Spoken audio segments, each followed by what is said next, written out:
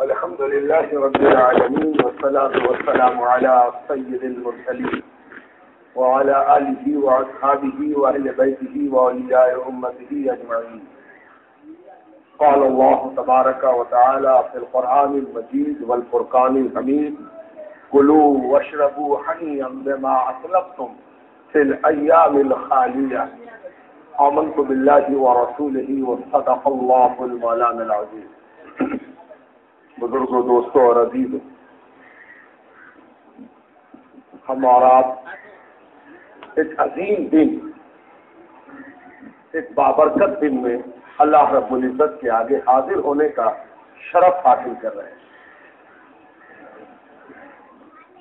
اسلامی فکر کے مطابق تمام دنوں میں جمعے کو فضیلت ہے کوئی دن ایسا نہیں جو جمعے کے جیسا اور سارے مہینوں میں رمضان کو فضیلت۔ تو مہینوں کی فضیلت سمٹ آئی رمضان۔ اور جمعے کی فضیلت جو سالوں بھر ہفتوں میں تھی، وہ فضیلت رمضان کی فضیلت کے ساتھ مل کر کئی گنا زیادہ ہو جیسے رمضان میں پڑھی جانے والی نمازیں چاہے وہ فرض ہو سنن ہو نوافل ہو یا مستحبات وہ دوسرے زمانے میں پڑھے جانے والے اذکار، اوراد اور نمازوں سے افضل ہے ٹھیک اسی طرح رمضان کا جمعہ سال بھر کے جمعے سے فضیلت رکھتا ہے۔ اس میں بھی وہ جمعہ جو رمضان کے تمام ہونے کی مہر لگا رہا اس جمعے کی دو فضیلت۔ ممکن ہے کہ کسی کتاب میں آپ کھوجیے تو نہ ملے۔ لیکن یاد رکھیے کہ کتاب میں چیزیں کم ہوتی ہیں۔ پڑھنے والے سے یہ امید کی جاتی ہے کہ وہ کتابوں کو پڑھنے کے بعد اس قدر ذہین ہو جائے کہ جو باتیں کہنے والا کہنا چاہتا ہے اور صاف صاف لکھ نہ سکا ہے، وہ بھی پڑھنے والے کے ذہن میں اللہ کے فضل سے تازہ اور موجود ہو جائے۔ اگر سب کچھ لکھا جاتا تو شاید کسی کو پڑھنے کی بساط نہ ہو۔ اسی لیے لکھا کم گیا ہے، سمجھا اس سے کئی گنا زیادہ گیا ہے۔ بزرگوں نے اپنی تفہیم کو سامنے لایا ہے۔ اور یہ سلسلہ سرکار دو عالم سے لے کر آج تک جاری ہے۔ ہاں یہ صحیح ہے کہ کسی کی تفہیم درست تب ہوگی جبکہ وہ قرآن و سنت سے ٹکراتی نہ ہو۔ یہ معیار ہے، یہ اصول ہے، یہ کلیہ ہے۔ ہر وہ سوچ درست ہے جس سے قرآن و حدیث کا معاملہ بنتا ہو، موافقت ہوتی ہے آپس میں ایک دوسرے کے افکار کے اور قرآن و حدیث کے محکمات سے اس کا ٹکراؤ نہ ہو۔ بس یہی اصول اور کلیہ ہے۔ پہلی فضیلت تو اس بات کی ہے کہ آج کے بعد پھر جمعہ ملنے والا نہیں۔ اور خاتمے کی اہمیت اسلام میں ہر اعتبار سے درست ہے۔ انسانی زندگی کا سب سے قیمتی لمحہ کون سا ہے؟ جبکہ وہ آخری سانس لے رہا ہو۔ اسی لیے اس وقت کلمے کا پڑھنا، اس وقت توبہ کا کرنا، اس وقت اللہ کی طرف رجوعیت کی اہمیت ہے۔ اور آدمی زندگی بھر یہ توبہ کرتا ہے اور یہ تڑپتا ہے کہ اللہ آخری وقت میرا بہتر، جس سے پتا چلا کہ آخری وقت کی بڑی اہمیت۔ ہے تو جب آخری وقت کی اہمیت ہے تو آخری جمعے کی بھی اہمیت ہے۔ اور دوسرے یہ کہ اس جمعے کو آخری بار یہ موقع ملتا ہے کہ آدمی روز ہو کر اللہ تعالیٰ سے معافی مانگے تو جمعے کا رونا دھونا ہوگا۔ اور آخری بار یہ موقع ملتا ہے کہ اللہ کا شکرانہ ادا کرے کہ پروردگارہ، تو نے آخری جمعے کو اپنے رمضان میں ہمیں اپنے گھر میں بلا لیا۔ یہ بہت تیرا فضل ہے۔ تو شکر اور خوف یا امید اور خوف، یہ دونوں آ کے اس جمعے کو مل جاتے ہیں۔ اسی لیے جمعہ ڈرنے کے اعتبار سے بھی فضیلت رکھتا ہے اور اللہ کا شکرانہ ادا کرنے کے اعتبار سے بھی فضیلت رکھتا ہے۔ اس جمعے کو ہم اور آپ یہاں جمع ہیں۔ اور ایک فضیلت ذرا اندازہ تو لگائیے کہ ہماری فضیلت کا کیا حال ہے کہ قیامت کے روز ساری امتیں مڑ مڑ کے دیکھیں گی کہ آج نوازشات کس پر ہو رہی ہیں؟ کون ہے جو نوازا جا رہا ہے؟ تو لوگ کہیں گے ارے ان کی عمریں تو ہم سے بہت کم ہیں۔ ہم تو چار چار سو سال جیتے تھے آٹھ آٹھ سو سال جیتے تھے نو نو سو سال جیتے تھے۔ یہ تو بہت ستر اسی برس والے ہیں۔ ذرا دیکھو تو ان پر مہربانیاں۔ اللہ کی لطف و عنایت، اللہ کا کرم، اللہ کا فضل، ساری رحمتیں انہیں کو برس رہی ہے نا؟ ذرا دیکھو تو ان سے بہت پہلے ہم تھے، یہ تو بہت پیچھے تھے، ہے نا؟ اور ذرا دیکھو تو ان کے اندر زمانے کی ترقی کے اعتبار سے گناہ کرنے کے امکانات ہم سے زیادہ تھے۔ جیسے جیسے زمانہ ترقی کر رہا ہے، ویسے ویسے گناہ کے امکانات بھی بڑھ رہے ہیں۔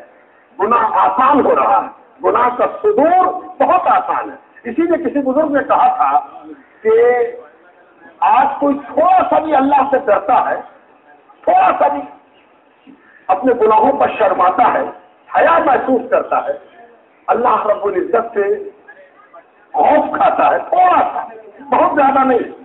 تو وہ کل سے بہت زیادہ خوف کھانے والے کے برابر ہے۔ اس لیے کہ کل کا بہت ستھرا تھا، صاف تھا۔ کل برائی کی جگہ پر جانا پڑتا تھا۔ ہر جگہ نیکی تھی صفائی تھی بھلائی تھی تقوا تھا، پرہیزگاری تھی۔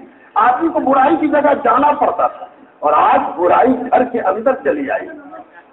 بالکل پاس میں جب چاہیے چھوئیے، بلکہ چھوتے رہیے۔ ایسے میں کوئی برائی سے بچتا ہے۔ اور اگر برائی ہو جاتی ہے تو اللہ کے آگے شرما کر توبہ کرتا ہے۔ اللہ رب العزت کے آگے معافی مانگتا ہے۔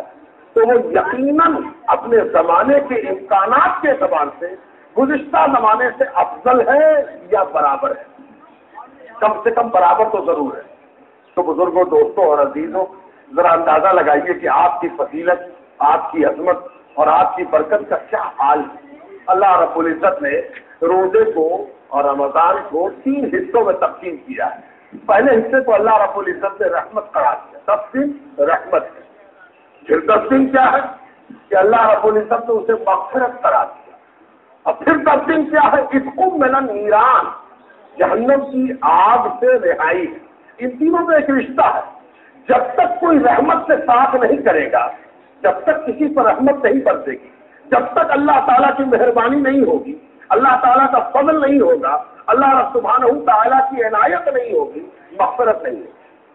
اور اگر مغفرت ہو گئی، تو اس کا نتیجہ کیا ہوگا؟ دو سے رہائی۔ دو سے رہائی ہے نا؟ تو اب ان تینوں میں تین طرح سے کام کرنا ہے۔ رحمت کے سلسلے میں اللہ تعالیٰ سے بھیک مانگتے رہنا ہے۔ کہ اللہ، رحمت دے دے، رحمت دے دے۔ کہ اللہ، اپنی رحمت سے ہم کنار فرما۔ ہم جانتے ہیں کہ بغیر تیری رحمت کے مغفرت میرے قریب اٹکنے والی نہیں۔ جس پر تیری رحمت ہو گئی، مغفرت یقینی ہوگی پھر جب مغفرت کا دہا آیا، اللہ سے خوب معافی مانگا۔ اے اللہ، جب رحمت کے داہے سے گزار دیا ہے جب رحمت کی گلی سے ہم کو گزار دیا ہے، اے اللہ تو اس کا نتیجہ تو مغفرت ہوتا ہے۔ اے اللہ، ہم ڈرتے ہیں کہ اگر نہ گزریں گے تو مغفرت نہ ملے گی۔ اور امید کرتے ہیں کہ جب تو نے رحمت سے گزار دیا ہے تو مغفرت ضرور دے گا۔ اور جب مغفرت کے داہے سے بھی گزر گئے تو اللہ تعالیٰ سے عرض کیا ہے اللہ رب العزت، جب تو نے مغفرت سے بھی پار لگا دیا ہے تو اب تو نتیجہ تو سخت رہائی ہے۔ اور یقیناً ہم نے تراوی کی دعا میں بار بار تجھ سے عرض کیا ہے۔ اللہ اجر نام ننا اللہ اجر نام ننا اللہ اجر نام ننا یا مجیر یا مجیر یا مجیر یا مجیر. ہے نا؟ اے رہائی دینے والے، اے نجات دینے والے، اے چھٹکارا دینے والے، ہم کو آگ سے نجات دے، آگ سے رہائی دے۔ اللہ پاک، ہم اس داہے میں داخل ہو گئے۔ جب دونوں داہے سے تو نے گزار دیا، تو تیسرے داہے میں امید کبھی ہے۔ کہ تو یقیناً دو وقت کی آگ سے رہائی دے گا، ہے نا؟ اب یہ تو خوف کا مرحلہ ہوا، اب ذرا امید کا مرحلہ اور وہ بھی اللہ تعالیٰ کے حکم سے بتا دوں کہ اللہ تعالیٰ فرماتا ہے، کلو وشربو جنت میں کیا ہوگا؟ جنتیوں کو کیا پیغام دیا جائے گا؟ دو سے رہائی کا نتیجہ کیا ہے؟ جنت۔ اگر کسی کو دو سے نجات مل گئی تو وہ کہاں جائے گا؟ جنت میں جائے گا۔ تو کس خطاب سے جائے گا؟ کیسے پکارا جائے گا؟ ہاں اللہ رب العزت نے وہ بھی سنا دیا۔ ہے نا ذرا دیکھو، ایک کمال کی بات۔ کہ اگر کوئی مجرم ہو، برباد ہو، تباہ ہو، ناقابل معافی ہو، تو بھلا اس کو مردہ کیوں سنائے؟